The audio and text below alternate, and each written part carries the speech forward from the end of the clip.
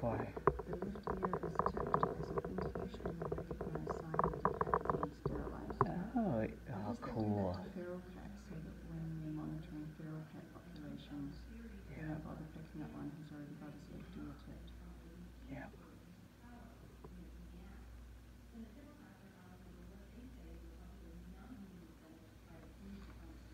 This is a video showing a couple of uh, rosy minnows mating behavior. It's in our backyard pond.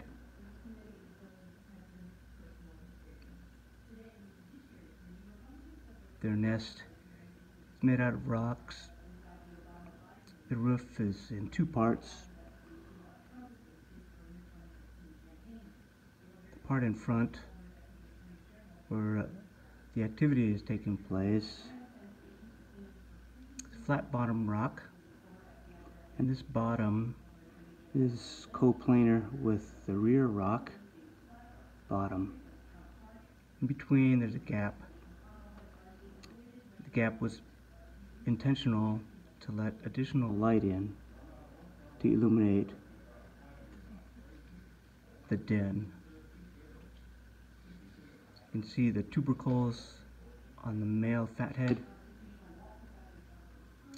and he has been exhibiting, they have been exhibiting this behavior, the same male, same female, for probably at least the past hour, maybe two hours, maybe more.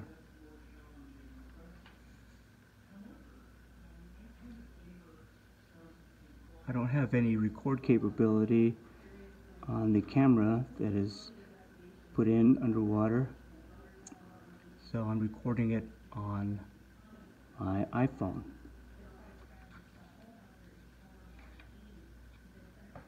The image is a pretty good representation of what I see on the screen although the colors are not as good on the iPhone as on the screen.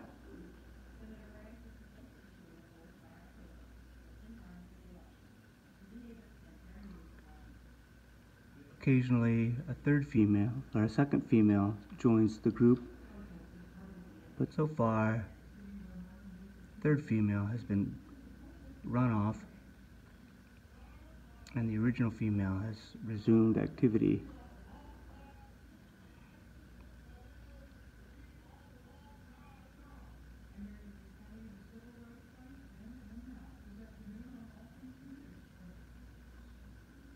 The male shows a marked color difference from its nominal appearance. It has very dark pigment on the sides, the head, and on the top, and um, some uh, patches or stripes of lighter color. And the tubercles are very well defined. Tubercles on the on his snout. That are used to clean and care for the eggs which are deposited on the ceiling of the nest den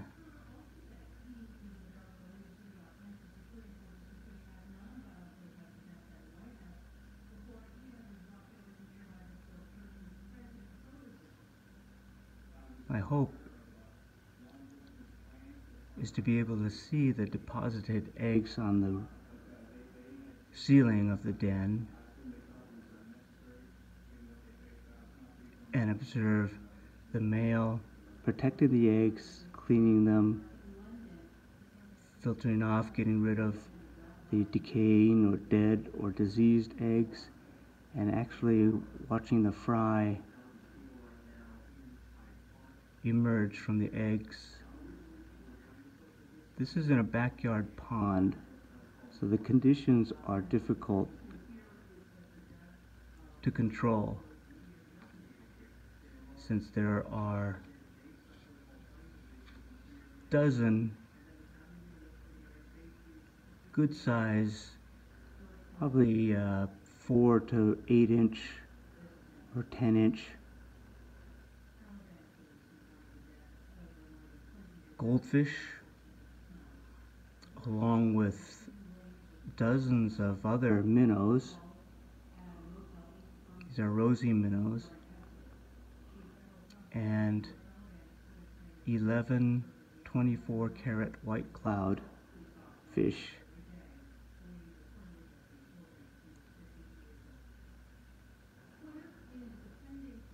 This nest is in the general population area of the pond.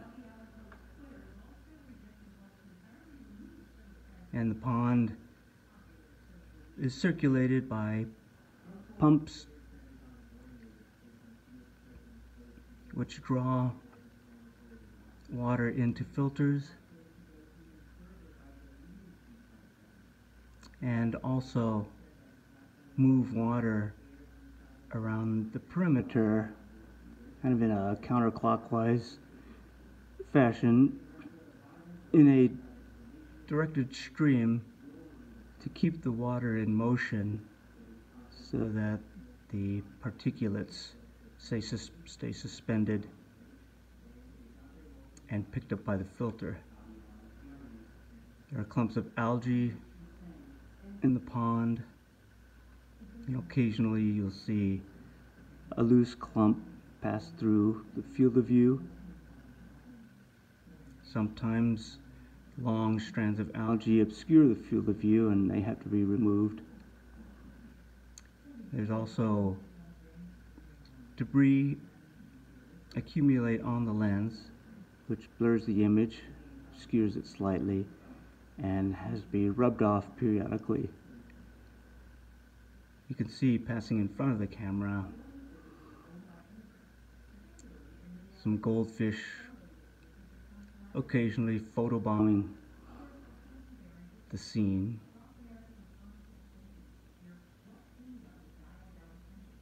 This is really interesting. I'm using a camera that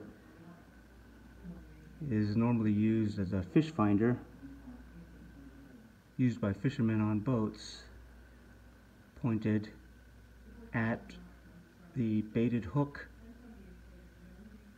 with a wire going up to the cockpit of the boat and a screen, this screen, so that the angler can observe fish visiting the bait, baited hook, and actually watching the strike. It's well adapted to snooping on fish pond life, except for the lack of interface to a digital recording device.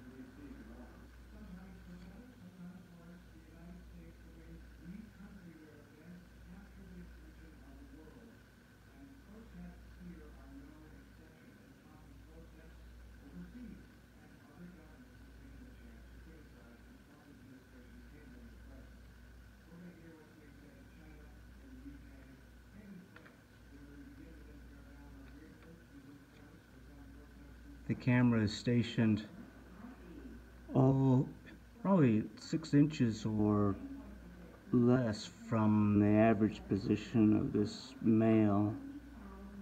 Actually, this is the female. This is the female rubbing her head against the roof of the of the ceiling of the den, maybe examining the surface or preparing the surface for eggs. The eggs float, so when they are expelled from the female, they'll rise up to the ceiling if they're not swept away by this current, which doesn't appear to be that strong in this particular spot. That's why this spot was chosen. It's outside the mainstream.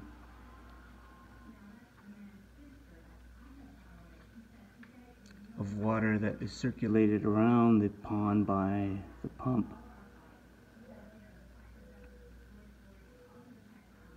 Now here comes the male back. Uh, the distance between no, the, the front of the rock, which is visible at the top of the screen, to the very back rock in the center bottom, uh, you can see the the point where the rock is resting. That distance is probably about four, five inches, maybe six.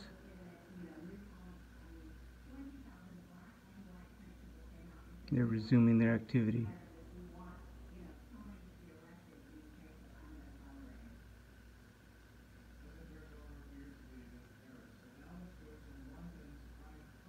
Right now it's 8:30 a.m. June 3rd, 2020, and I'll terminate this recording and pick it up later.